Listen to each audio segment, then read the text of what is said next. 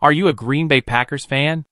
If yes, you are in the right channel before watching the video, I ask you to oh, please subscribe to the channel. And like the video thank you 3 emergency quarterback options for the Packers in 2023. What happens if Jordan Love has to miss any games in 2023? Then what? Packers could start with Danny Etling. Like Clifford, Danny Etling has never thrown a pass in the regular season. But his experience being in the NFL could put him ahead of Clifford in the race to back up Jordan Love this year. While Etling doesn't have the game experience, he has been on several different rosters and is potentially better prepared to start than Clifford.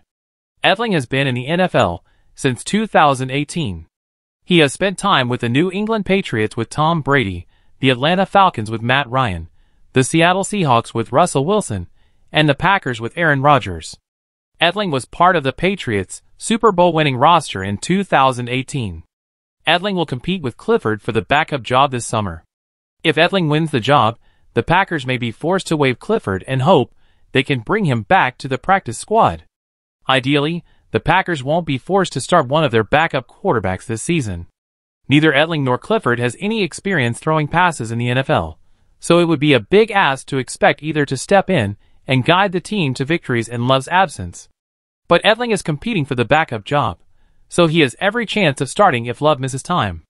Release the like on the video and subscribe to the channel. I update you with the news in the next video. Bye.